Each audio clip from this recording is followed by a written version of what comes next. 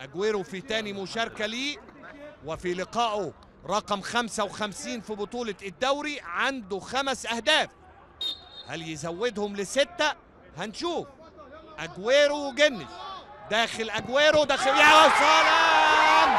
يا سلام يا سلام يا سلام! أبو الأجناش أبو الأجناش بيعود ويصحح الأخطاء وينقذ ركلة الجزاء. لكن هل اتحرك ثالث اهدافه في بطولة الدوري؟ حوار وجها لوجه أمام أبو جبل جباسكي داخل يسري وحيد داخل يسري وحيد داخل يسري وبيصدها أبو جبل. يا عيني عليك يا عيني عليك يا جبل ما يهزك ريح. أبو جبل بيبقي الحظوظ لفريق البنك الأهلي بعد ما ينقذ مرماه. من ركل الجزاء حطها برعونة شديدة جدا جدا. يسري وحيد. بقى يا راجل من وينقذ مرماه من ركل الجزاء ولا يتوقف رصيده عند 130 هنشوف السعيد والشناوي على بعد 11 متر. داخل السعيد داخل السعيد وبيصدها الشناوي. ولسه الحكاية ولسه الفرصة. كريم طارق إنقاذ بديع كبير من حارس كبير وادي الشناوي وجمال عمر السعيد وادي الشناوي. أرى أفكار عمر اوتاكا أنا قلت مين المقدام مين المغوار مين الفدائي؟ وهو واحد هو رامي صبري.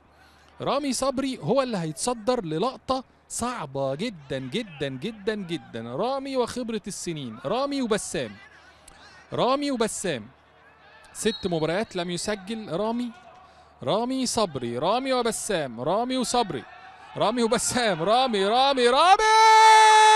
وحشة يا رامي وتعملق بسام والتعادل العادل مش ممكن. أحمد خطاب لسان حاله يقول لك عمرو يضيع لي واحدة في ماتش المصري والنهاردة رامي يضيع واحدة في ماتش سيراميكا. أي جنون لكن لعبها وحش قوي قوي قوي رامي صبري.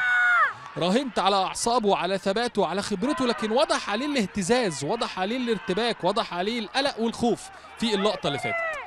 خلي بالكوا ممكن يبقى في فار تاني؟ لو في لعيبة مثلا من لعيبة سيراميكا كليوباترا دخلت منطقة الجزاء قبل ما هو يس- والتمريرات المهمة والمؤثرة لفرقته ولعيبته خلال النص ساعة اللي فاتت. عواد وإلياس. إلياس وعواد إنما يا ولد يا عواد. تاني موجوده إنما في الشبكة من بره. يا ولد يا ولد يا عواد. ادي عواد كأن الراجل بيقول خلاص. صلحت لو كان في خطأ بدفع أو تهور يطلع ركلة الجزاء عشان اللقاء يفضل تعادل سلبي بدون أهداف ويتألق محمد عواد في ضربة جزاء إلياس الجلاصي. أدي اللعبة راح لها كويس قوي والمتابعة في الشبكة من بره ويفضل اللقاء.